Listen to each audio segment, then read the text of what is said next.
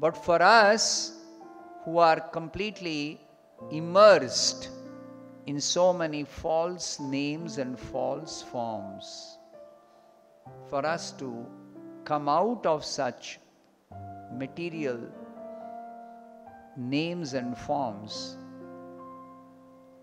What are these false names and forms? Just like I think I am this body. So, based on my identifying with this body, this body is a material body.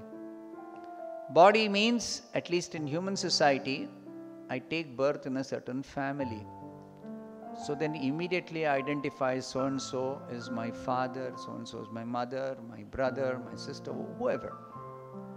My relatives, my friends, my neighbors, my boss, my acquaintance, my business colleagues or business partners.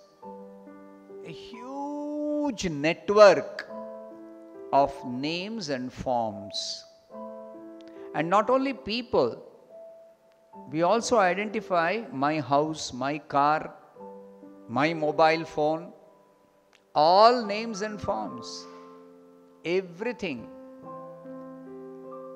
Neither the people whom we identify as ours are that name and form, material name and form, nor are these objects all our possessions